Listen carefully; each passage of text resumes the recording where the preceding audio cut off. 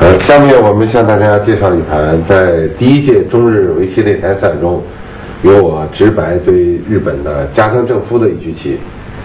呃，第一届中日围棋擂台赛，呃，在我对加藤的时候呢，呃，已经赢了小林光一，那么后面还有加藤和藤泽秀行两个人。加藤呢，人家称为是日本的天杀星，或者说是这个什么刽子手、沙西屋嘛，有很多种那个雅号。但是不管怎么说呢，都是一个就是战斗力非常强、有这个很有力量的一个棋手。我在赢了小林光一的呃只休息一天之后，就从热海赶到东京和加藤进行这场比赛。呃，说来也奇怪，在比赛以前我的信心非常足，总觉得能赢他。虽然在以前一盘都没赢过他，从这盘是是第一个开始，在比赛之前我信心很足。下面就把当时的对局情况向大家介绍一下。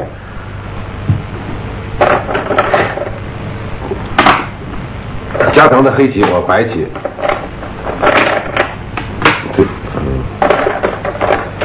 这个布局加藤很喜欢用，我在比赛之前呢也呃对他了解了一下，呃知道加藤很喜欢像这样的布局，所以呢我就走在这个地方呢，嗯也可以说是希望引诱他来这儿挂，然后我在这边挂就把这个棋呢打散，因为我知道跟加藤下的过于紧凑的话，呃他的力量得到充分发挥，可能我还是比较难办。如果我要是走别这样的或者这样的话，他可能会当时他会走中国流，我也怕他走中国流，所以要防范他一下。黑棋挂下，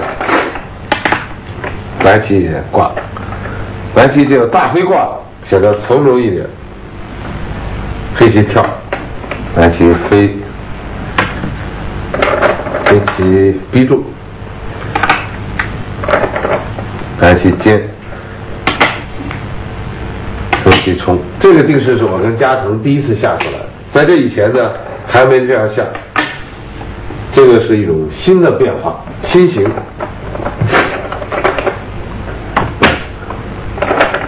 黑棋长，现在普通呢，这个定式如果想完整的话，恐怕黑棋应该跳一，跳一个之后，这个形状就完整了。但是呢。这个小尖就要被白棋尖起来，下一步白棋就要飞压，就要把这个黑棋这个子呢压制下去，然后自个儿的头起来之后呢，对全局都有扩张影响。如果黑棋在这，又为白棋先手便宜了，所以加藤在这个地方想了很长时间，脱先了，就没有走这个，来先来飞压白棋。这个想法非常有趣。当时这个我自己在比赛的时候呢，看到黑棋压这个，我觉得心里想，果然对面坐的是加藤啊，确实身手不凡，与众不同。如果他这么跳，我尖起来，觉得白棋非常的舒服。他现在如果这样下，白棋长，黑棋长，普通这个定式白棋是要跳，如果跳的话，他再跳回来。那么这两个交换，黑棋占便宜了，是不是？嗯。所以作为这个对局者吧，当时我想无论如何不能这样下，得反击。如果照这样走走下去的话，就进入了加藤的这个套路。所以从这个想法上来说，也得反击。就这样，又长了一个。那么这个子就不让他走了，是吧？白棋搬起来，由于这个头一搬之后，这个形式呢就受到他的大大的限制，是不是？这个如果他这边再成功，白棋出来呢，对这边也有影响。所以说，呃，这样走了之后呢，也是白棋的就是应付黑棋这个飞压在这脱先的一种战术吧。那么，赶下来。缓下来，白棋这得硬，不硬的话，飞进来就死掉了。暂时脱先了，黑棋，大家注意，这个地方加藤用的是高挂，对于新的这高挂呢是比较少的，通常都是低挂。好像这个这是正兵啊，这个用的比较多，对于新来说。可现在这个局面呢，黑棋这地方有个四个子的拐头，棋形比较厚，所以他考虑到这个呢，用高挂。所以这高手在过招的时候，他什么都可以下。普通的话都是低挂，这时候他就有高挂。高挂有个什么不好呢？就是损失控。对，实力损。因为他这个低挂的时候呢，可以点三三；高挂的时候点三三，这个子儿就可能被黑白棋的虎的这个这个子就完了。所以高挂时候点三三比较难。但是他这样呢，是为了这个照顾中央的形势，特别是想争先手。这盘棋，就是我跟加藤下到现在，我都觉得双方都是进行的非常的这个紧凑。可这个时候呢，就好像两个人在互相注视着对方的时候，加藤现在眨了一下眼。这棋我觉得无论如何要跳，这样下去，这盘棋将是一场还漫长的战斗。如果这盘棋我输了，这个擂台赛的历史可能就要改写了。如果跳在这儿的话，这盘棋最后的结果很难说。至少黑棋还是充分可下。结果加上忽然间在这个关键的时刻呢，吃在这儿，这步棋只是步官子。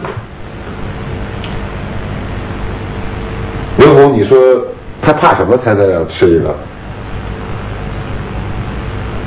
怕这个搬？对对对对对，他怕搬出来。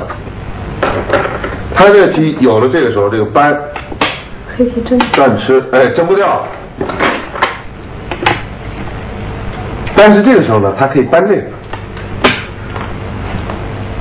如果白棋长出来，黑棋打吃，白棋接上，黑棋飞起来，这个白棋断这个吃这一个，它就长，很没有意思，把这两个越走越弱。如果这个子不要跳，那他把这提，黑棋这边太大，所以不用怕。那么白棋不能长这个的话，只能长这个，不能让他打这一下，打一下你就先手被他便宜很多了。黑棋虽然争不了，但是可以走这个。当然这儿还有一个黑子了，这个地方是有一个黑子。白棋冲出来，黑棋搬，白棋拐，黑棋再压，黑棋再长，黑棋再长，对，站住，白棋吃，黑棋吃，白棋提，黑棋飞，全局呢？你看，这是黑云压。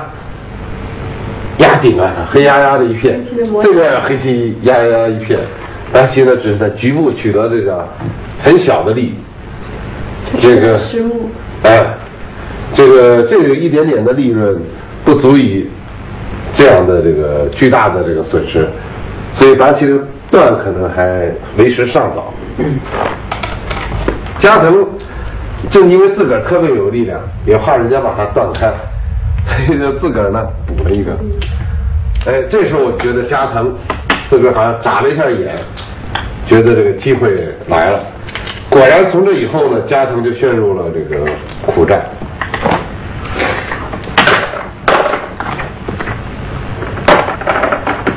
是，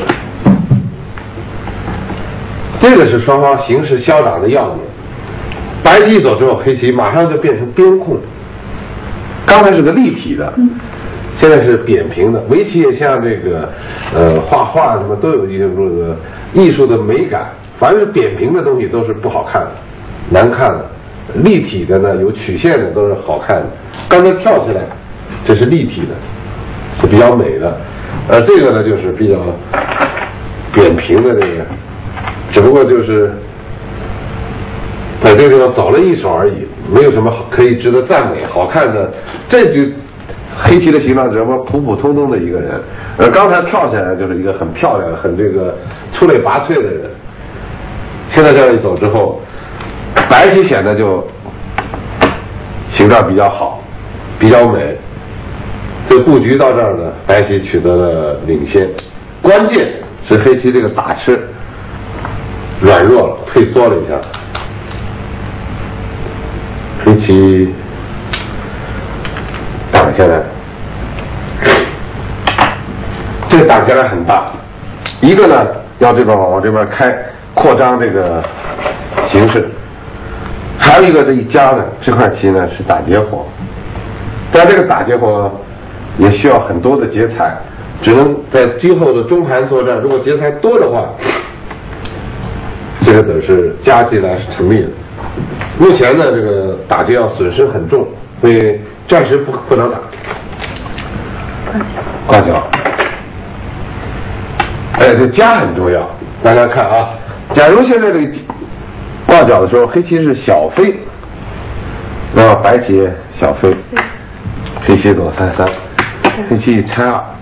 那这么一下的话，黑棋这个形势呢就没有得到没有呼应了，就单纯的在一方面做空，那边呢已经被白棋消光了，这个局面就就更难于下了。对于黑棋来讲，就更难下了。黑棋这个当然要加，虽然这个加只有拆三的余地，但是还是要加。白棋换。白白棋挂角，黑棋压住，白棋是有跳了，是不是？嗯。还是先煎一个再跳。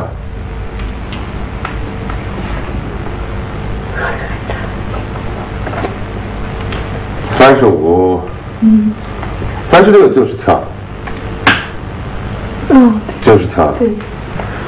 那这棋为什么要跳呢？这我给你介绍一下。当时我在想呢，一个直接点角，可能也形成这种局面。这样，黑棋可能要跳这个。跳完这个呢，白棋的形势受到限制，黑棋呢这。不管怎么说，再度呢，小也像上面刚才讲的立体化进步了一些。这个呢，还是双方形势消长的地方。再有呢，就是说，有了这个子之后，这个点角就成立了。另外呢，这个子有了之后，这边过来也不太一样。所以，我当时想，这个为了。全局的利益，局部的损失还是做出来了。这个不要进这个角了，先跳这个。这个招应该讲是大局还是比较明了的。走了这个之后，黑棋苦于不给白棋一手进角。白棋现在是小尖了。这个小尖是，就是自我感觉良好的这种想法，就是觉得优势了，哎，非常稳健。如果觉得空不够的话，至少这张棋可以跳在这儿，对不对？嗯。这是最起码的，或者说，如果觉得形势那个什么的话，更有甚者就可以脱先不走。现在走这个就是等于像一种。那个向对方说明着，我现在优势了，我要走得稳健一点，这是一种很有自信的想法。实际上，积极一点，肯定可以跳。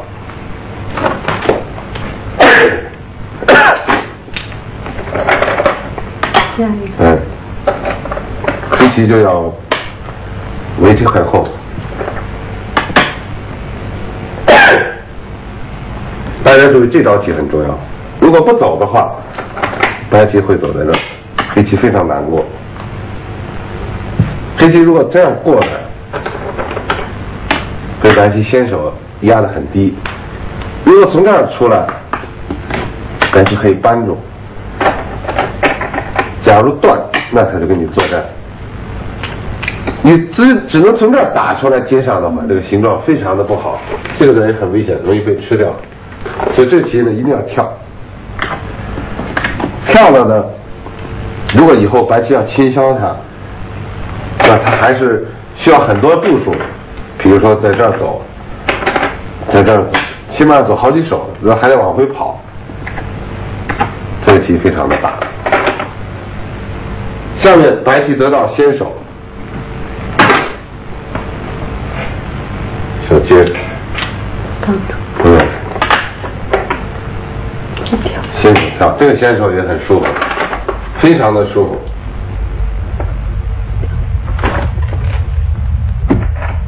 下面来起飞，跳这个之前先点过一个，现在刺，这个刺的时候呢是中午封盘，实际上在封盘的时候还有十分钟，这时候我牺牲了十分钟，这盘棋我这个地方印象非常的深刻。普通的都是以为要接这个，我想加藤也以为我接，但这时候十分钟我没有下，我早就想好了要走这个，可是怕中午的一个小时休息一个小时被对方知道我要走这个，他会想很多，给他一些呃机动时间以外的时间，所以我看走这个，一直在等到中午封棋，下午上头一步走的这个，然后加藤想了很长时间，还是得接上。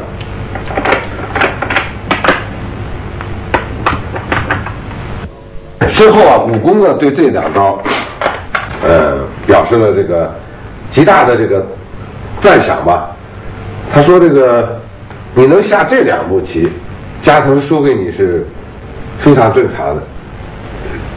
他认为加藤已经这棋没法赢了。现在也就是说，这招棋有问题，可能不能走在这儿，应该走在这儿。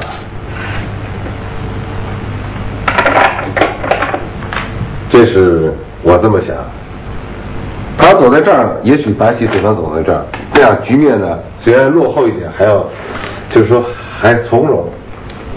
这个之后就有点受攻啊，这个词。呃受攻，最主要这个还不光完全是受攻，它跟那个整盘棋的形式很微妙。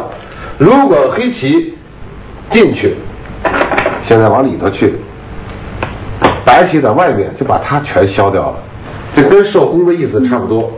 如果黑棋出来，那么白棋这个如果出来，白棋把这一贴，白棋的也很大，黑棋很难，就是这个时候。消掉什么空？对对对对对，现在他是顶这个，嗯，这边交换了一个，啊对对。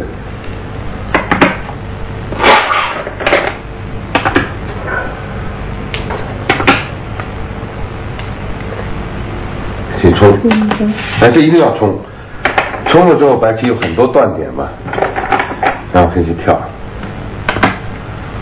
虎一个，白棋虎，这一虎之后，黑棋现在这个被关在里头，需要走往回连，烧一个，烧了一个，白棋是走这个，黑棋再冲，又花了一手，白棋刺，黑棋接上，白棋跳，黑棋。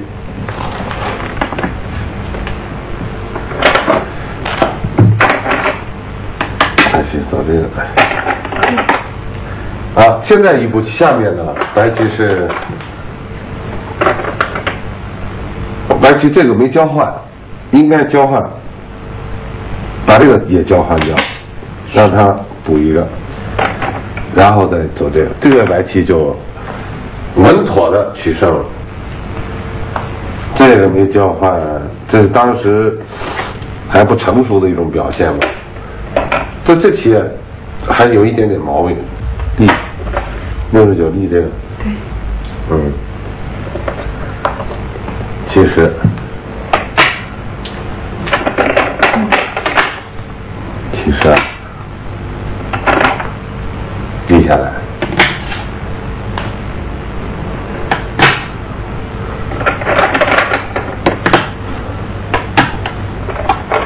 现在白棋有这个一个断的这个严厉的手段，黑棋还是需要补的，这白棋的先手便宜。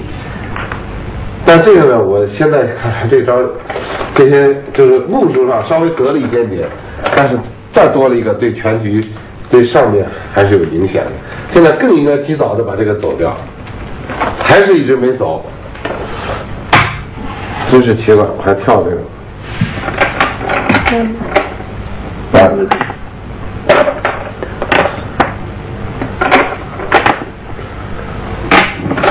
还是觉得现在形势，自我感觉还仍然良好，这要自自补。虽然这个不补呢，好像也没什么急，就无事自补啊。现在黑棋这角呢，是个打劫活，但白棋这个角也是打劫活。那等于都是活的。都是活的。那么。如果这块棋安定的话，黑棋的失控就有些问题了。所以黑棋现在冲击了，点这个，那白棋来不及了。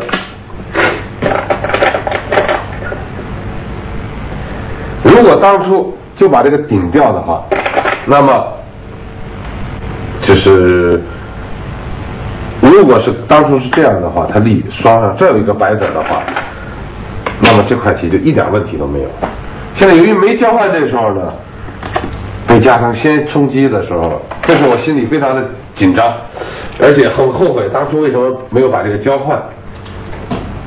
现在他来的时候，我也没办法，只好再走。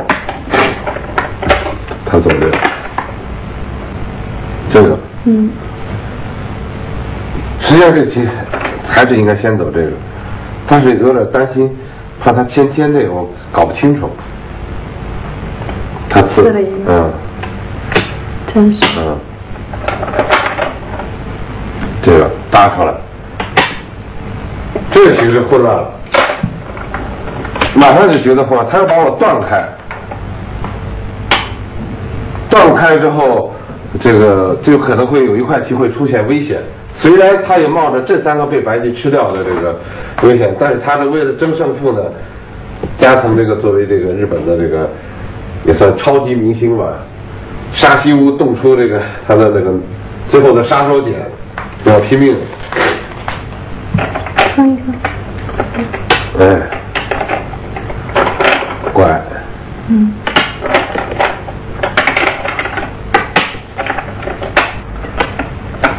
飞飞吧，飞出来。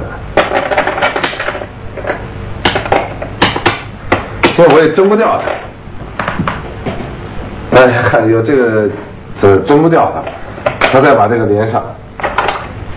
那现在看黑棋作战大获成功啊！白棋被隔断了。这个块和这块都没有做做活，非常的这个危险。九十八仙走这个。这个是要叫吃嘛？要吃它，跳下来把它吃了。连回家。他连回家。然后小尖的。哎，他唱。再小尖。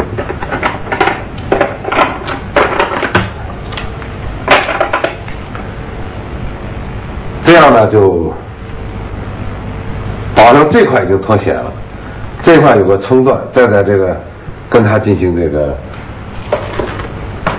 勉强的这个什么吧，现在我最担心的还不是这个冲断，冲断恐怕我还能把它吃这个，它一缠我挡住，一夹把这个夹死。最担心就是这个走的很重的话，它要跟我打结。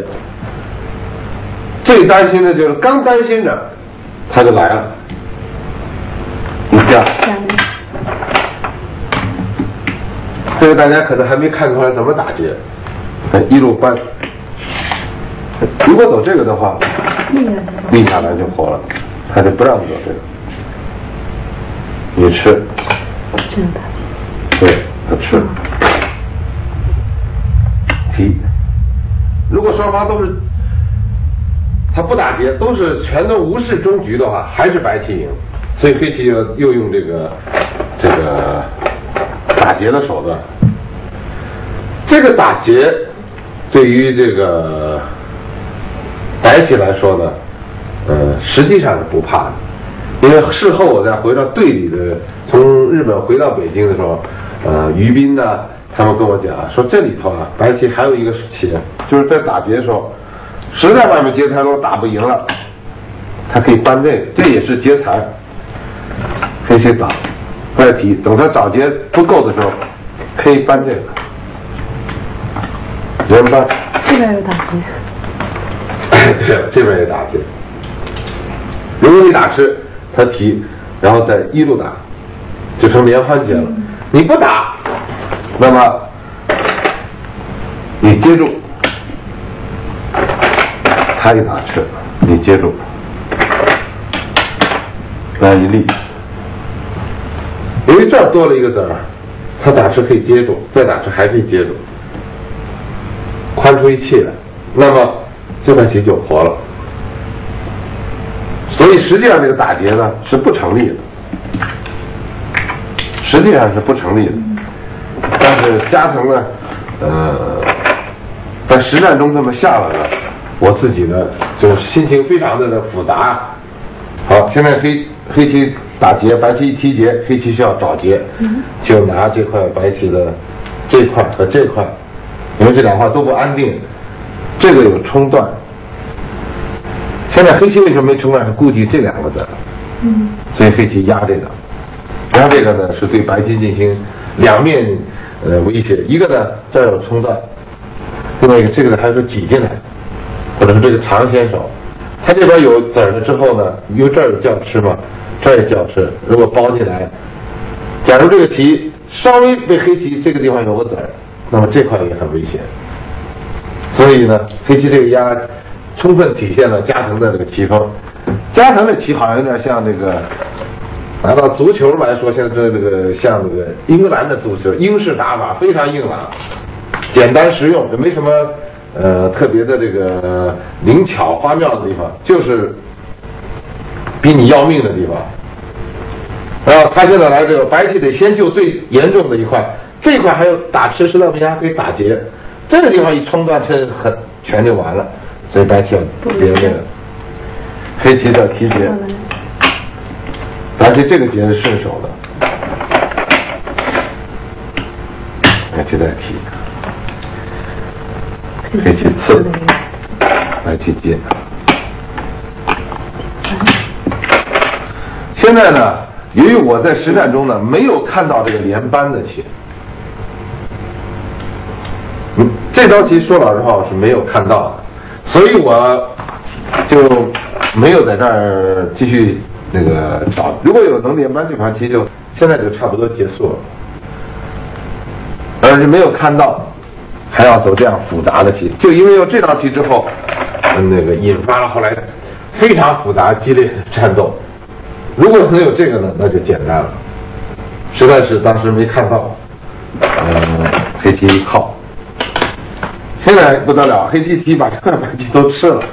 这个棋数子儿的话也是有，一二三四五六七八九十十一十二十三十四十五十六十七，将近二十个子儿，有四十目了。那我这个地方拿不到四十目，除非把它吃掉。如果吃不掉的话，对我损失很大，输下去。哎，这个挤时机很好。现在他要我吃这两个，他一吃这个，把这两个吃，他就活了。所以我只好走这个。嗯，搬，粘住，双双一个，这个双啊非常的妙。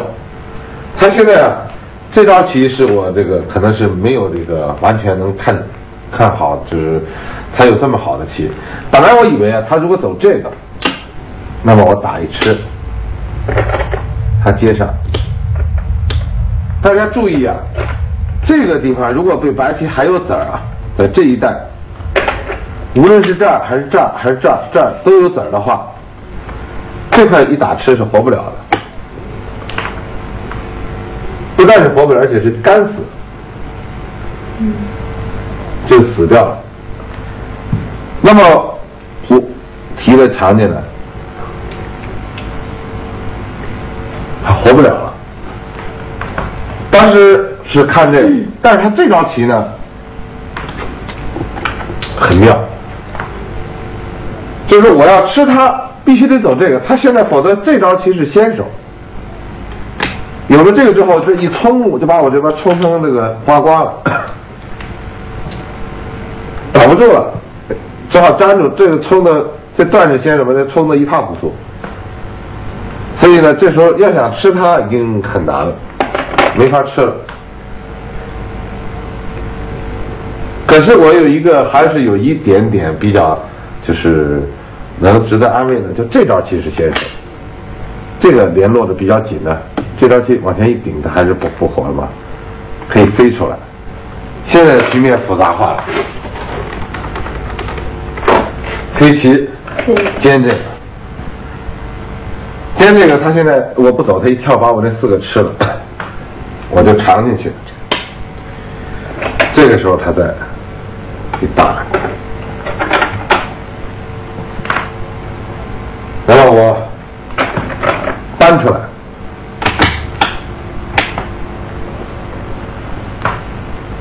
这个搬出来是很严厉的一手。假如黑棋断，白棋叫吃，黑棋只好接住，白棋接住，黑棋只好从这儿冲，因为你要从这个冲，就把眼给冲掉了，就长接住。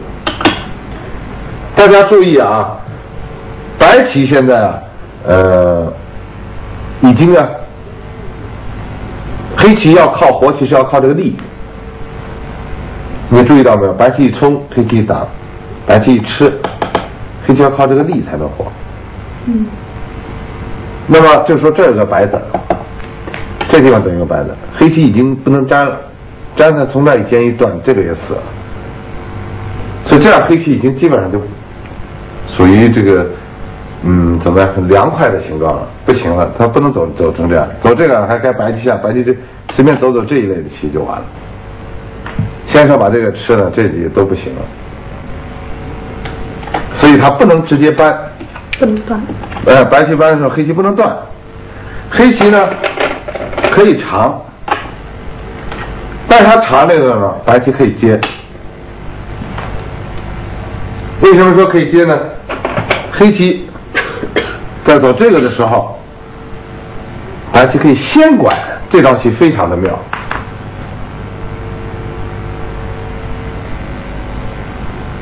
刘红，你看清楚我可以先拐。他如果白棋先冲的话，断，断，你再拐，他就接上；你再断，他挡得住。你由于你只剩两气，他底下有三气。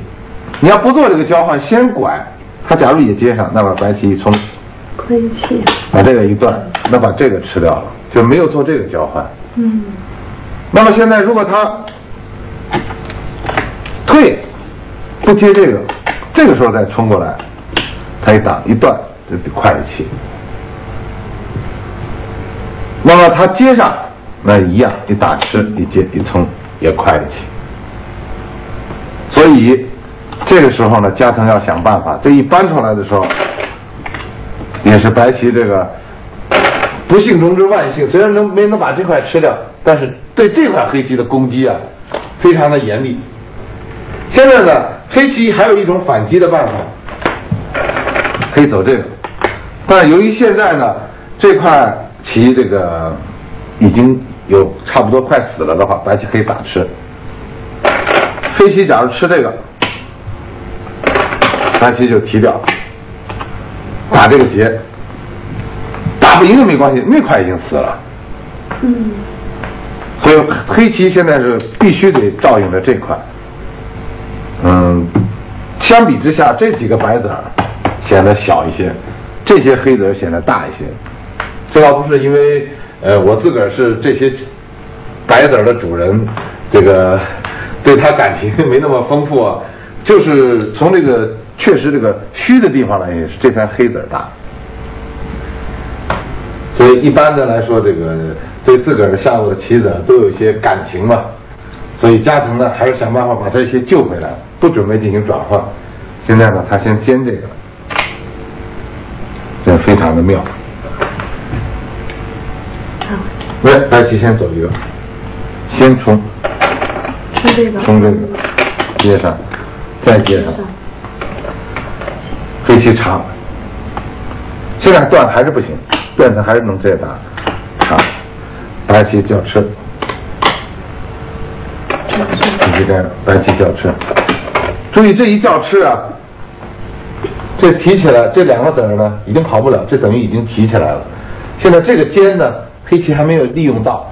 假如这个黑棋要利用攻击这一块，能先手把这个尖到呢，那官子便宜好几目。现在就是因为吃掉这两个呢，白棋，嗯，官子便宜，不让他尖到这个。另外一个就是说，有一有这两个交换，随时提先手。如果不交换这两个，以后万一被他一冲一打，这两个还没有交，这还没提到，所以这个有种种原因呢，要先交换掉它。他立，提掉，接住。这时候白棋仍然把这个接住了。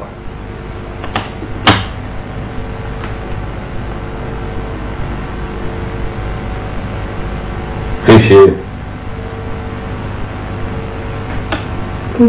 有，这个是很那个什么的一手，初看非常成立的一手，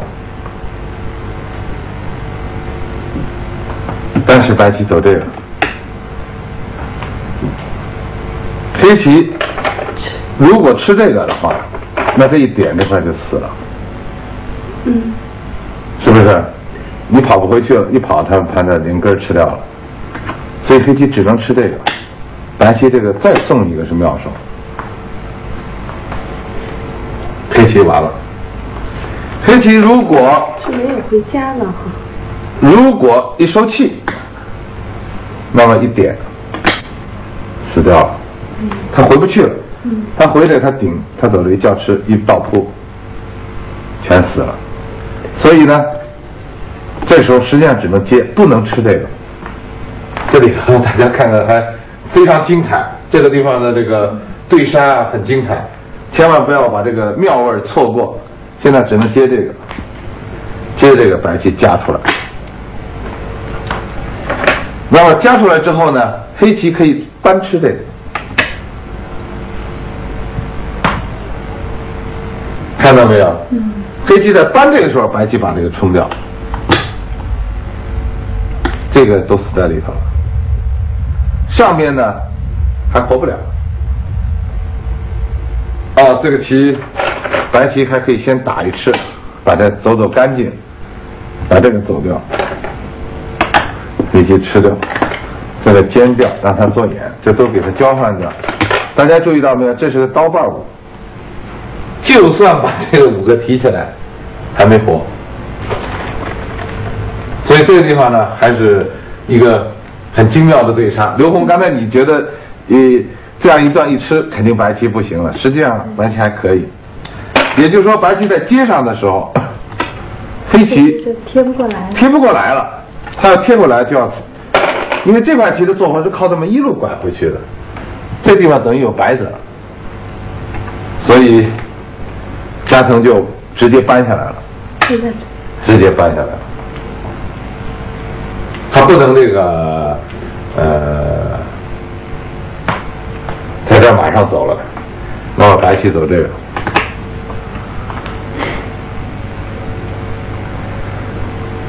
黑棋走这个，白棋叫吃，黑棋接上，白棋搬，黑棋吃。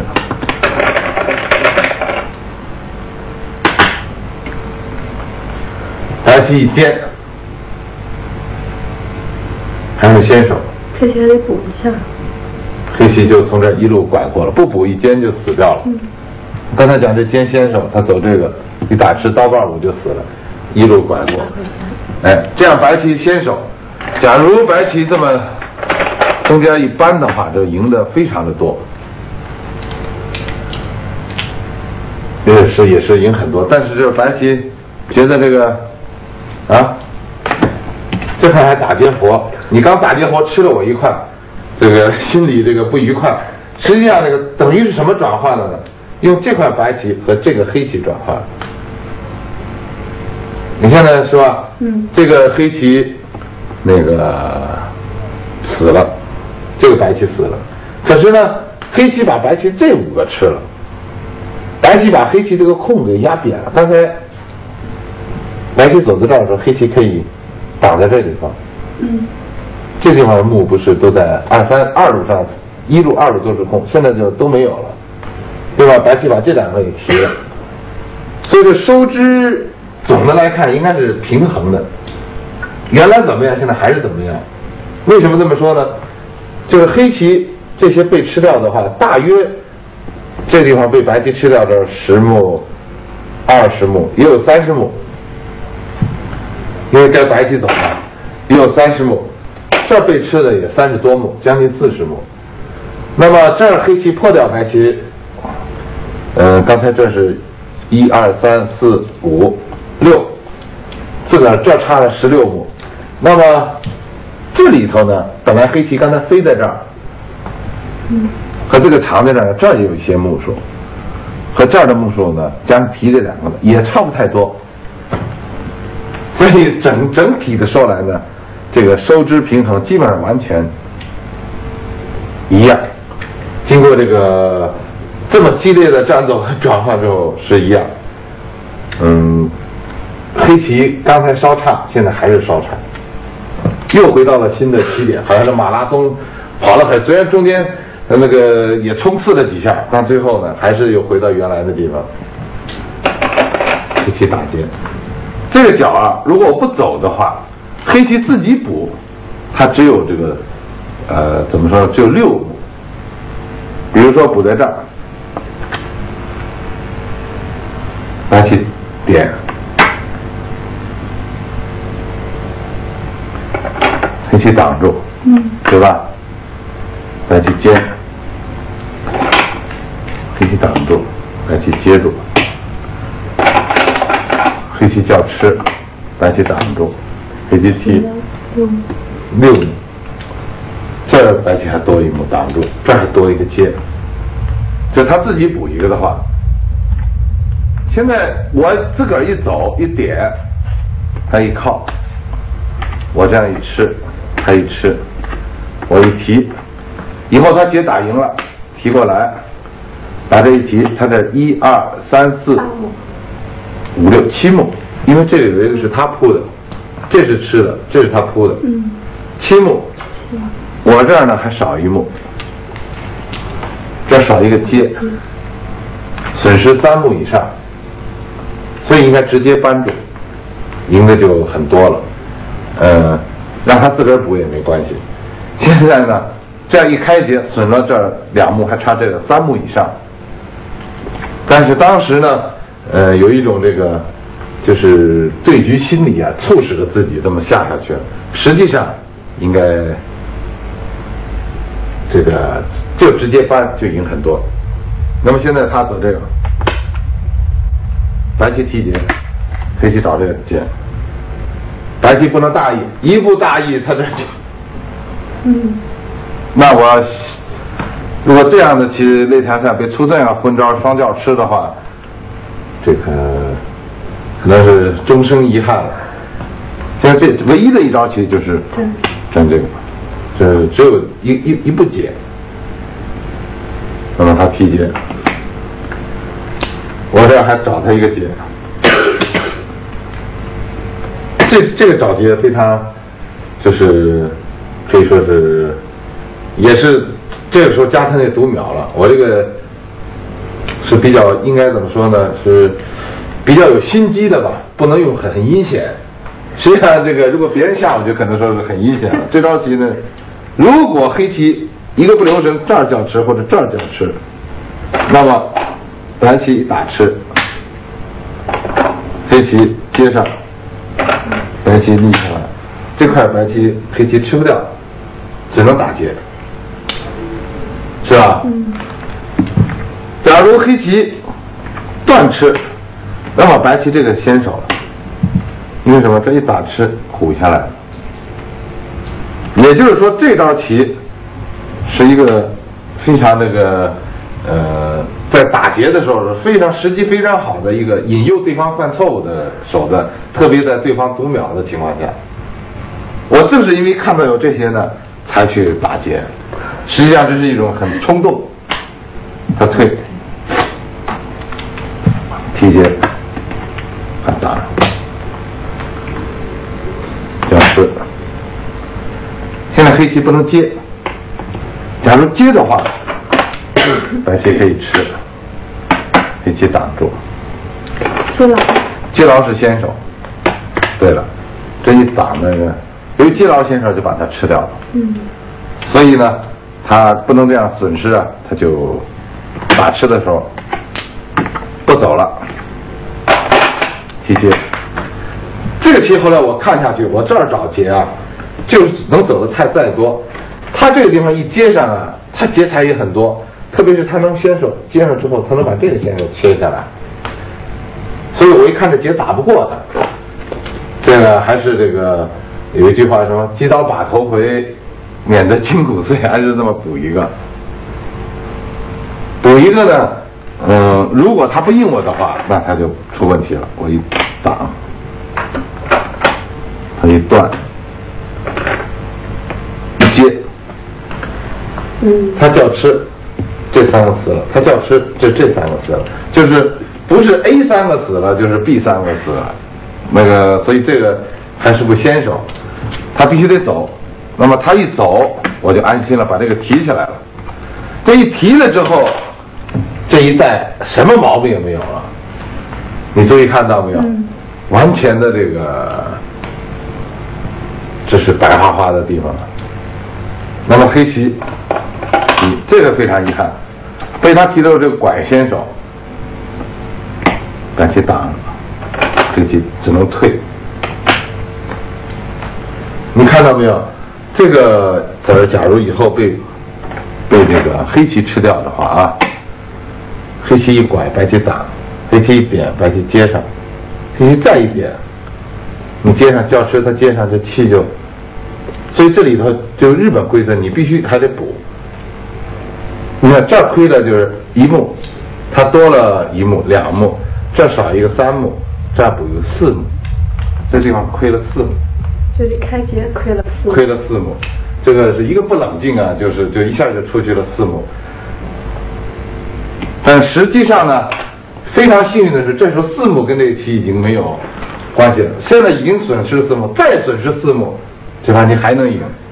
所以这个，由于现在优势比较大呢，以后我就进行了这个比较这个怎么说呢？比较这个稳健、安全的收官。最后是四目半取胜。四目半，呃，你注意到没有？这里还有一步妙手，可以往前压一个。特别是我这儿有子儿之后啊，从就往这儿压一个，退，哎，你只能退，挡都不能挡，你挡我一翻，又打劫了，又打劫了，你更不是不能冲了，所以这个地方黑棋目还是比较小的，嗯，坐在这个呃电视机旁边的这些爱好者可能觉得现在声音还没那么大，实际上以后这地方一冲，他只能退。这个目数黑棋已经小很多，呃，中观这盘棋啊，白棋自从这个开始占据了这步要点之后，我们讲就是全局双方势力消长的地方，占据这个要点一直处于主动比较好下，黑棋呢，嗯，比较苦战，嗯，虽然利用这个打劫这个。嗯，取得了一定的转机，但是白棋呢，这里头这一代下的非常的巧妙。过了这么呃多少年以后，还在自自我吹嘘，这一代白棋下法，嗯，而且是在时间很紧紧的情况下，能想想出这种比较这么复杂的变化，算的都比较准的话，那确实非常的出色。呃，以我现在这个呃嗯水平水准来看，当初的这个棋来说，这也是非常出色的一盘。嗯，这个地方呢，将来还有一个打劫吃这个的这个手段吧。总之呢，在这一战处理好了之后，全局就取得了这个决定性的优势。虽然还有出现了这个损失四目的这种呃棋吧，但只这只能说是小节。这都是那个呃，只要咱们保持这个保持住这个全全局的决定性的优势，就好像是让我们这个红色江山不要变颜色，就咱们这个都是白的吧，不要跟黑的这个发生这个这个他把我们这个复辟的复辟的情况，那么这盘棋拿下来是没问题。最后这盘棋是白胜四目半，嗯，取得了这个。呃，第一届擂台赛这个倒数第二场的胜利，这样我已经连赢了两盘，然后从日本回到北京，嗯，过了两个月以后，在十一月二十号，和藤泽先生进行了擂台赛最后的主将决赛，最后我又赢了藤泽秀行这个呃两目半，这样呢，第一届擂台赛呢，我们中方就取得了胜利，嗯，这个是擂台赛的和家中比赛的这盘棋。现在我们就跟大家介绍到这儿。